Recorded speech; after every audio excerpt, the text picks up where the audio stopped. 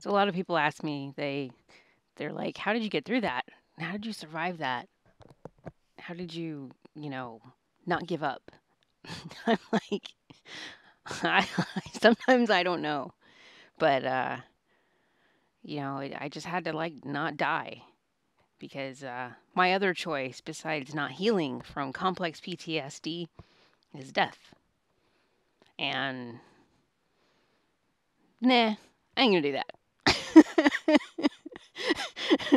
I'm going to defiantly live and, you know, try to make my life better at every turn because honestly, that's how I was raised and that's how I choose to live my life to improve it and to make it better and make my environment better. And then, you know, as things get better and branch out, I can make other things better and encourage other people to make their shit better and we can all have better shit. So in 2014, I kind of came out to the world that I'm a survivor of child sexual abuse. And um, I just want to th- say thank you to all those people that reached out. And like, there was like a literally, like, it was one of the most amazing times in my entire life. And I I made these videos and I put them online and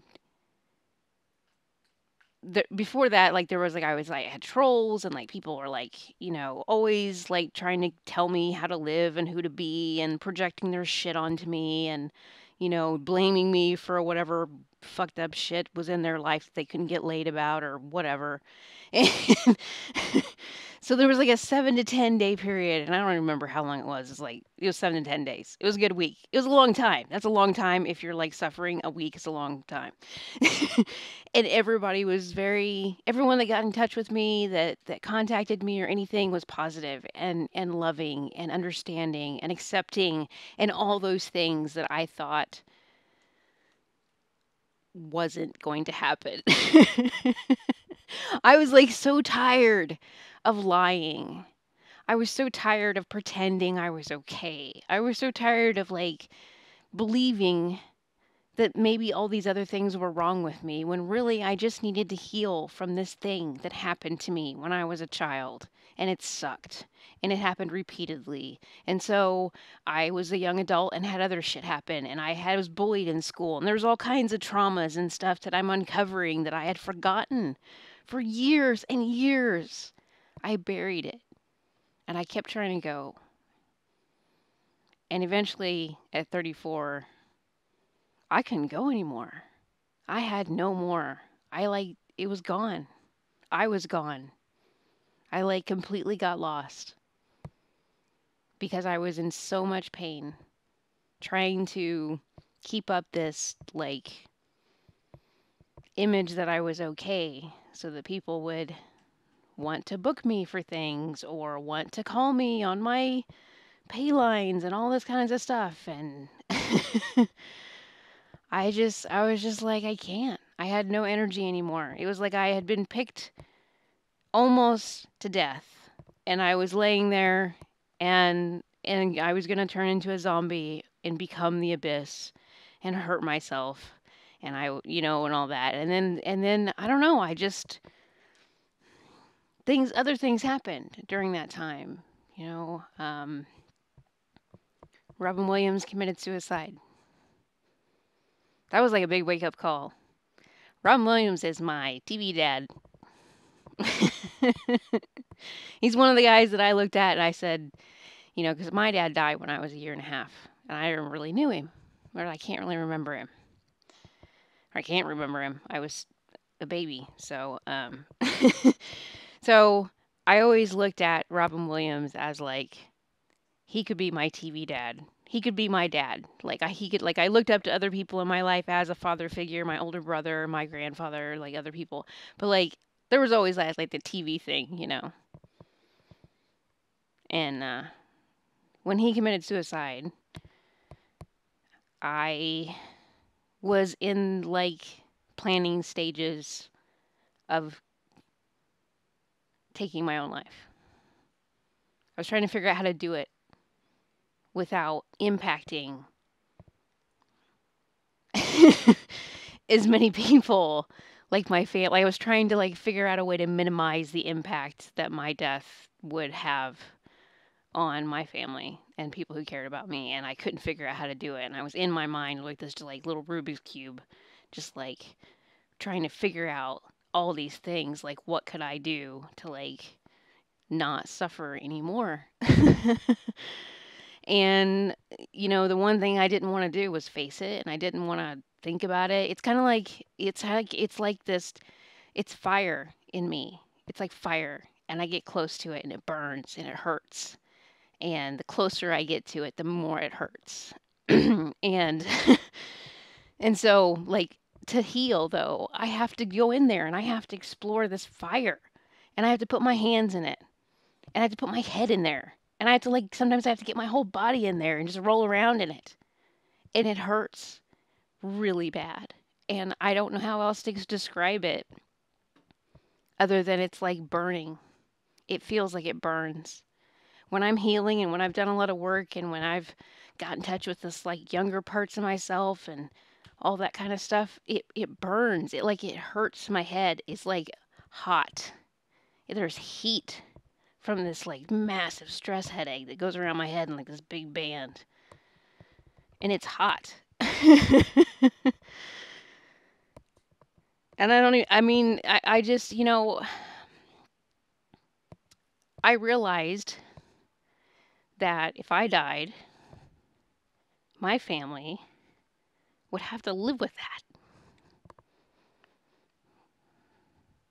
Because here we all were, as fans of Robin Williams, living with what he went through and, and died. And that that was painful. And then I was like, okay, well this is someone who's on TV. I don't know him personally. He's not a personal friend of mine. I've never met him in person, kind of thing. Not a family member. And then I thought to myself, what if my fam what if one of my family members fell hopeless? And then they died. And I was like, I can't do that to them. I'm like, I need to do things to change my life like right now. And I was like panicked and I was upset and I did. I made changes, and it took a little while. I moved twice so far. it's in the last four years. I like did things that I needed to do. I got therapy. I found community online. I, you know, I got rid of most of the toxic people in my life. I don't always make good decisions. There are some people that are still in my life that should not be there. But I just can't. I can't always make the right decision. I have to make mistakes too and learn from it. So it's like, you know, it's not a good idea to light that cigarette. It's not a good idea to have that shot of vodka. You know, just different things. but sometimes in your mind, you know, you know, a lot of times you know when you're faced with these choices whether to make the healthy choice or to like do some maladaptive coping that kind of somehow feels a certain way. I think I convinced myself that these negative coping mechanisms actually felt good. I remember like when I was a smoker and when I was a teenager and I was like 15 or something and I'm smoking the cigarette and it hurts to like inhale really hard or whatever to like get that burning feeling. And I remember like doing it and then going, what if I could convince myself that this feels good? And then I began to like that feeling.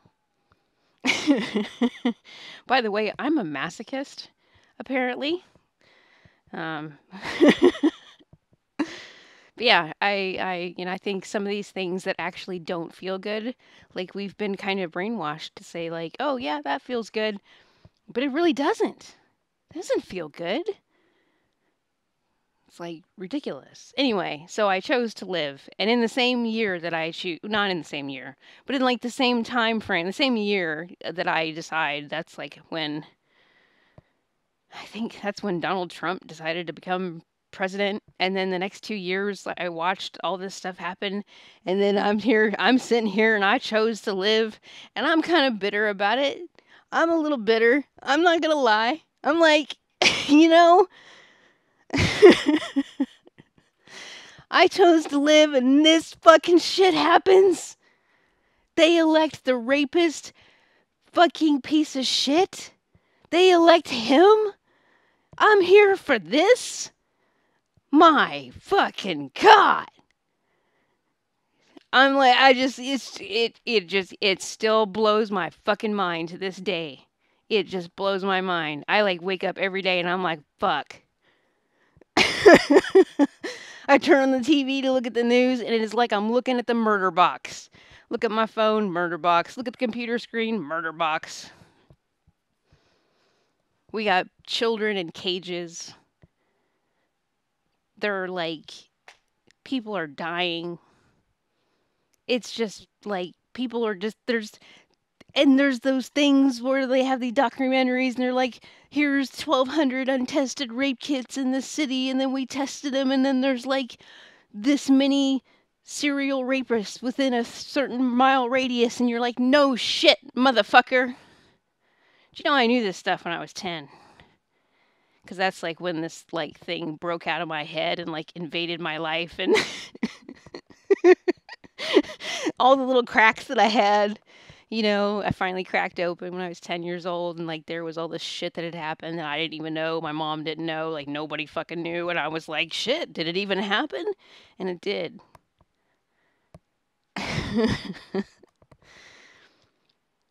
and the cops told me, because I didn't remember, it's not like you know what age you are when you remember stuff like that. It's not like what you're thinking about. you're not going, hmm, I wonder how old I was. And I wondered that. No, you're going like, fuck, that is some scary shit. And ow, motherfucker, what is that? That fucking hurts. And I'm terrified. You ain't thinking about numbers or how, like, anything. The only thing you're not even thinking because you're like, all of a sudden, you're like, bam, adrenaline, fight or flight, motherfucker. We need to get the fuck out of here or just like fade away and disassociate because that's all we got because we're going to die. and you know what? I remember dying. I remember dying. I remember like being having my air obstructed, passing out. And then somehow like I woke up, but I left my body. I remember. I have actually have dreams of that constantly where I leave my body and go live in other people's like bodies while I'm dreaming. and it feels so right and true that I would be a spirit that would just hop around and like exist, it feels like my real world is fake. Like it's not authentic. This doesn't feel real to me. This feels stupid. like if it's a simulation, I'm done. Let me out. It's like bullshit.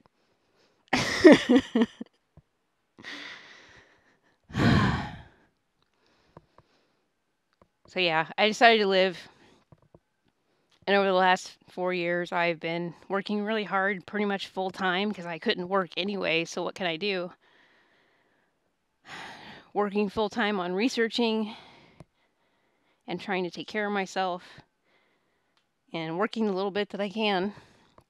Because, man, it is really hard to concentrate when your brain's on fire.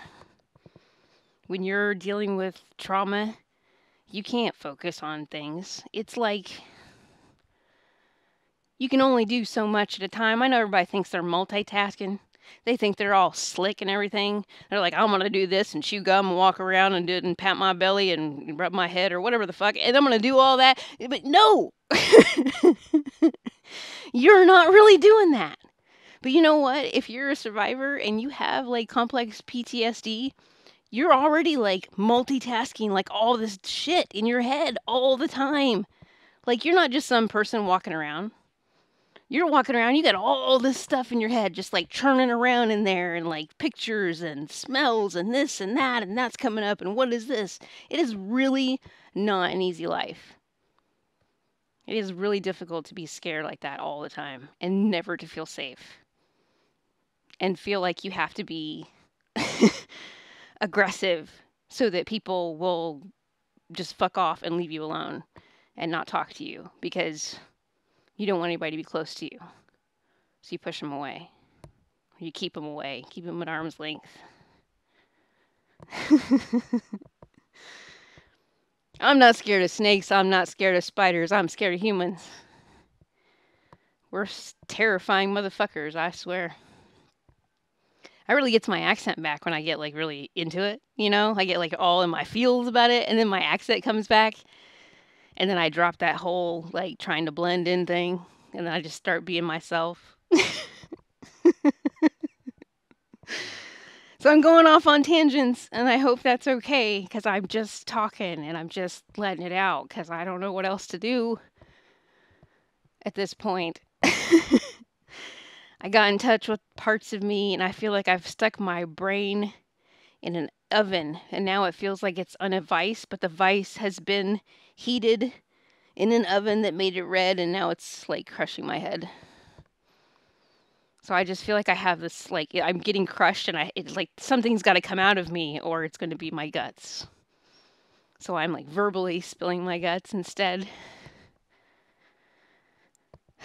Sorry if that was gross. I know I speak kind of visually every once in a while. I can get kind of graphic. I I was an adult entertainer for like 15 years and there's a lot in there. And I also did BDSM, so woohoo. there's a lot. A lot, a lot. A lot. A lot of creativity and imagery in my head and sometimes I'm gross. so how did I do it? How did I how do I how did I choose? Well, you just gotta hang on. You just gotta hang on like one more day. And then it gets easier and you're like one more week. And then sometimes it's one more hour. And then you'll find yourself going, it's one more second. I used to live like that a lot. Just to get through this next moment. Let's get through this next five minutes. So I used to love wearing a watch. It's like, let's get this next 10, 15, 20 minutes, and that's like next hour, next half hour. That's how I got through my life. I was sitting in class, we're taking the test. Everybody's done, or everybody's still like taking the test. I'm sitting there. A lot of times they wouldn't let me bring a book with me because they're fucking stupid. Like I'm gonna fucking put the answers in the in the the novel I'm reading. and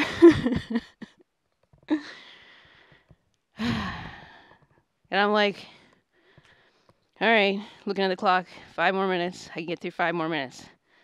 It's like, no, I can't. I can't. I can't do this. I can't do it for five more minutes. I'm like, all right, let's do it for three minutes. I'm like, okay, we can do three minutes. So three minutes go by, and I'm like, all right, let's do five minutes. I'm like, no, I can't even take one more minute. I'm like, fine, we can do a second, right? I'm like, yeah. I'm like, all right, let's watch. And it goes tick, tick, and I would watch, and I would just, you know, I've learned this about myself that I can't calm down very easily. I'm actually very, very high strung. And a lot of people, like, they meet me in person, they think I'm kind of mellow. It's totally an act. On the inside, I'm going, holy fucking shit, I can't believe I'm even out of my house right now. Because, there's people and stuff, and I'm wigged out. Like, my skin is crawling.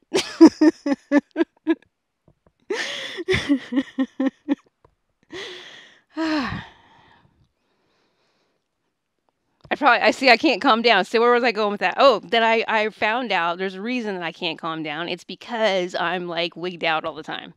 And like I've tried to do like yoga, like meditation and stuff like that and it was always like really freaked me out because sitting quietly and not doing anything and not having any form of expression and just like blending in with the crowd, not doing anything, not being an individual, just like being there. But like it bothered me for those reasons. And like sitting quietly and not being expressive was, I think, triggering because I wasn't allowed to express myself about things that happened to me. As far as like I had locked all those things away inside me. Like I wasn't allowed to express myself because I felt if I did that my family would get hurt. So that's why I locked it away. and then I forgot. After after like I think I was like 7 or 8 and we had moved and my mom had divorced the guy who had hurt me and we were we moved. And that was it. Like that person was gone out of my life. so I was a little kid. And, you know, kids do kind of live in the moment, don't they? They're just kind of like enjoying their their little lives and it's awesome to just watch them because they're not up in their head like we are. you know? Except when I was a kid, I was up in my head, unfortunately. All the time. yeah, yoga, meditation, things where I had to sit quietly would trigger me. It would make me upset because then I would get really hyper vigilant. I could hear people breathe. I could hear like things move, fabric across skin. Like I could hear everything. Everything seemed really fucking loud.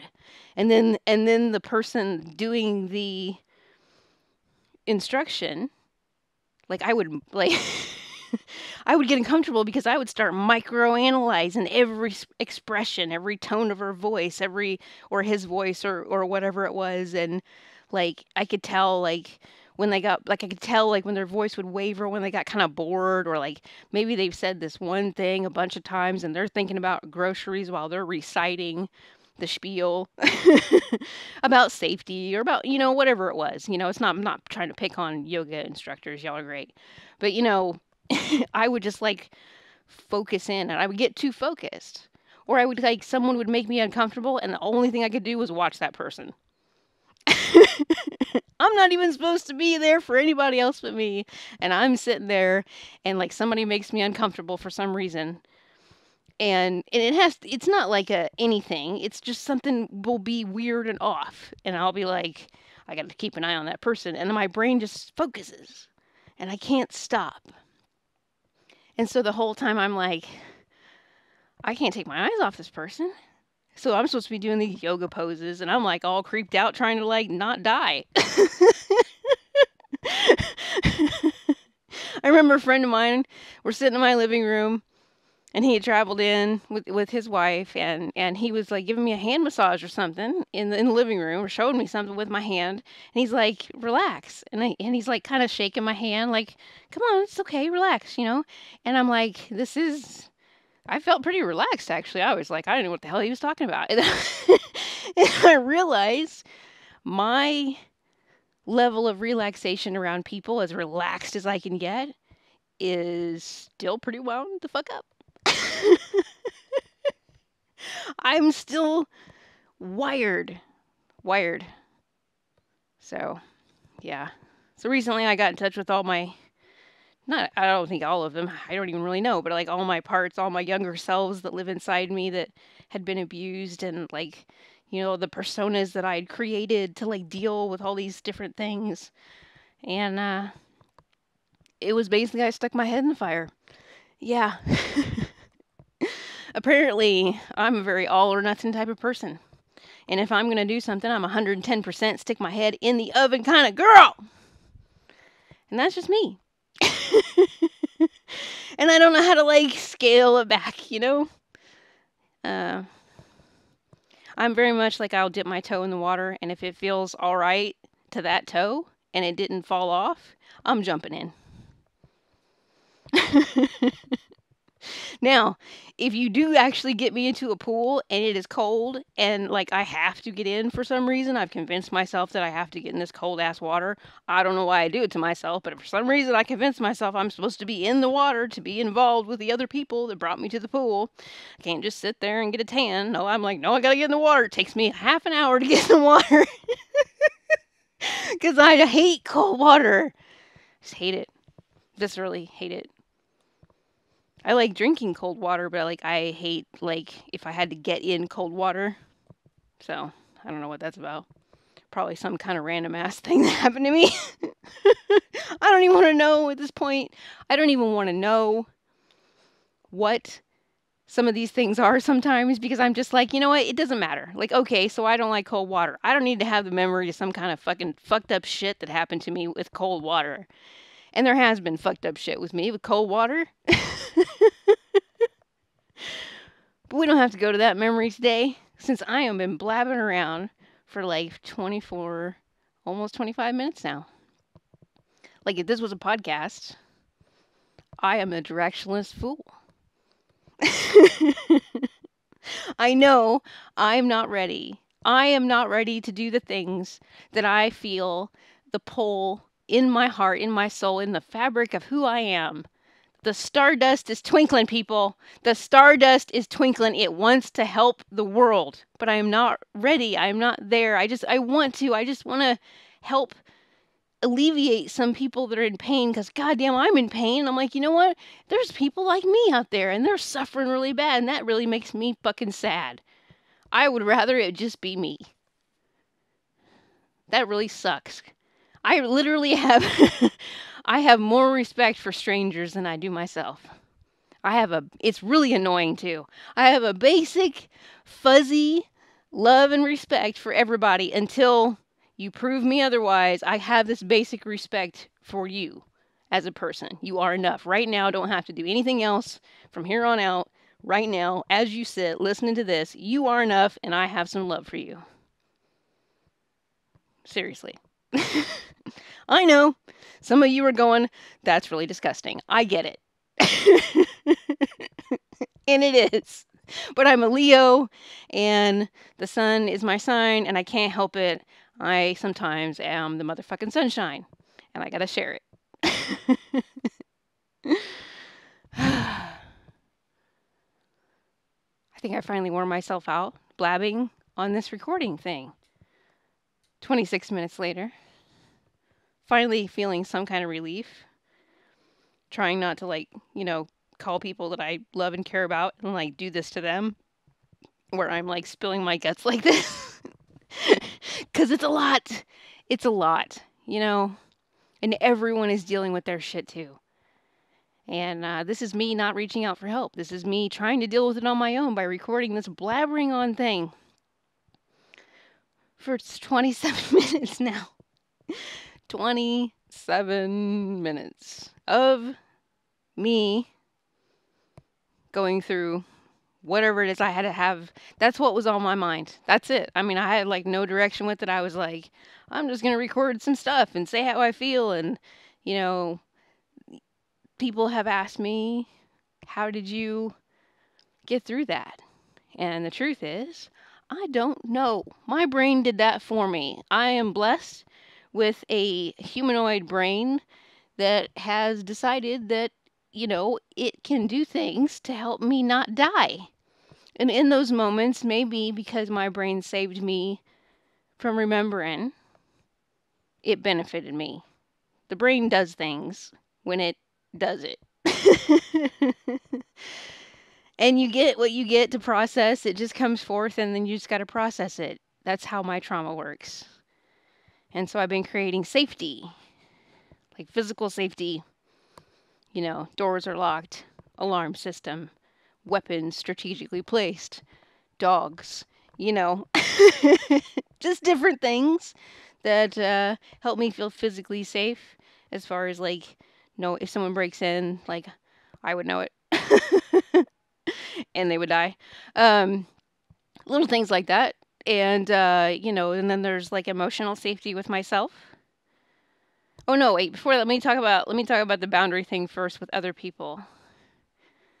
I'm still figuring out like who I am and what I actually want because I kind of lived to what people wanted me to because that was like easy and I now realize it's a fucking cop out. I'm not going to do it anymore. I'm not saying any of you out there that have done things that I have done similarly. This is me talking about myself. I I was like, "Sarah, this is a cop out. We can't just be living how other people want us to live." we we I can't do that. I mean, I I can't do that to myself because I want to be me. I'm pretty cool and interesting and fun. I'm finding out. I'm like, I got some artistic talent and uh, I have patience I never knew I had. I can actually be a very, very loving and nurturing person to myself. And even though that was discouraged in other personal relationships that I had uh, in my life, I'm not going to prevent myself from giving myself the love that I have for other people. I'm just not going to do it anymore. I'm going to love myself and I'm going to be fucking proud of myself. And I'm a Leo and I'm going to roar about it. And everybody doesn't like it, they can fuck off. And that's how I feel about it. You're either in my tribe and we're all here and we're all loving each other, or get the fuck down the goddamn road because I ain't in it. I'm not here for people that are interested in being shitty to me. I'm done with that. I tolerated that for so long as an adult entertainer. But man, some of y'all, I wanted to hunt you down and kill you myself. I was like, oh, really? You want to do this to me? I'd be like breaking in and be like, guess what? I'm in here with you. You know, I was like, oh. I was like, bring it on. And I also decided not to go by my stage name anymore because I don't want to. You know, I don't feel Sarah Blake anymore. I'm Sarah Garlits. And you know what? I love my name. My mom picked my name when she was 12. Like I was manifested into life in a thought, and then I became a human. Maybe that's why I feel older than I am because when she thought of me and, you know, so I'm to name my daughter Sarah Jane. And I was like, there I was. I was an idea formed, and then she gave birth, and there I was. and I've always felt older than I am, so maybe that's why I have an old soul because I was thought of and then had to hang around until she got older and met my dad. now I'm just being silly. Okay.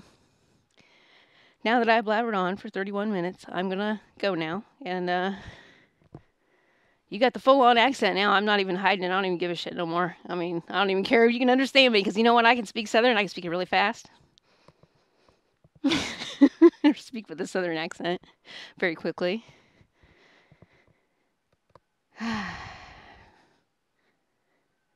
still hyped. I'm still hyped. I like how. Ah, this is uh my life's exhausting. I tell you what. it's no wonder I don't have any energy for like work and like putting together projects and different things. Cause man, I'm fucking burnt. I am exhausted.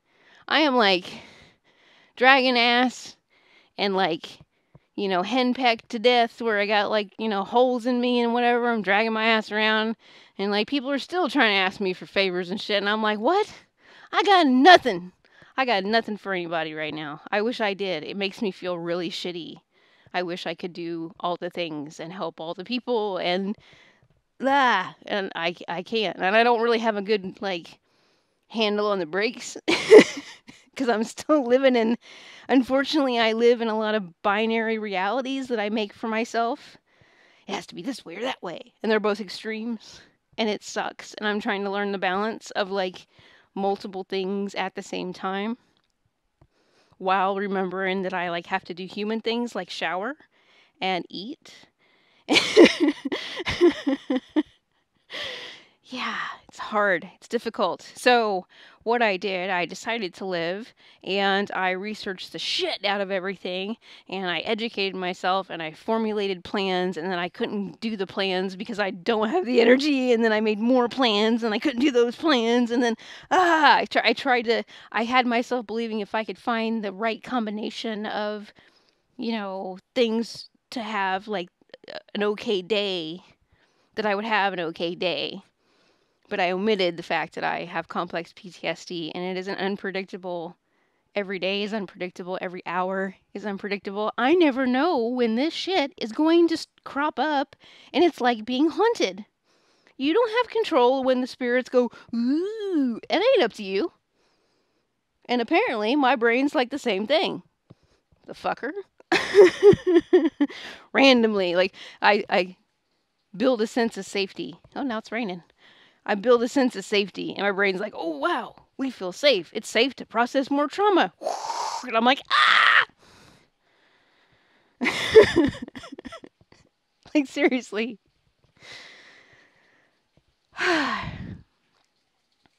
well, if you're listening to this, thank you for listening to me, Babylon. Um, it's almost 35 minutes now, and I'm still kind of hyped, but I'm feeling better because I let some stuff out. So, I hope you take care of yourself. And if you got triggered by any of this, please take good care of yourself. If anything I say or write in my blog or any time you feel triggered, please take care of yourself. Get away from whatever it is that I'm putting out there. If it's bugging you, if it's like bringing up a batch of bad memories and making you feel bad, you know, take care of yourself. You know, reach out to your support system and and do good things for yourself and, you know, be kind. Don't just power watch some things because it's me. If you're feeling hurt or triggered or whatever, like, don't do that to yourself. It's okay to put it away. it's okay to walk away from the computer and the news and the Twitter. You can walk away, take a break, breathe a little bit. Sometimes it's too much, it's like overwhelming. Anyway, all right. So I'm going to go. Thank you for listening. And uh, yeah, bye.